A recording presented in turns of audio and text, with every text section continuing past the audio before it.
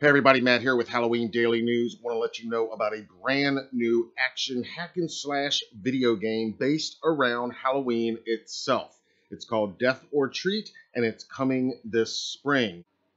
In the game, you will play as a character named Scary, who is the owner of Ghost Mart, the leader in manufacturing candies for Halloween in Halloween Town. However, those big name corporate ghouls have decided to horn in on your business, leaving you to take them on in order to save Halloween for Halloween Town.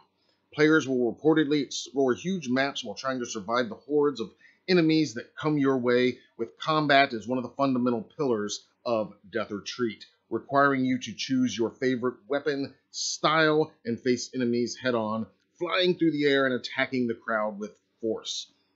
Along the way, you'll also be collecting valuable hidden treasures to unlock new weapons and skills to aid you on your journey. It's all set against traditional 2D animations and hand painted environments that provide Halloween Town's distinctive style and allow each world to have its own unique look and feel.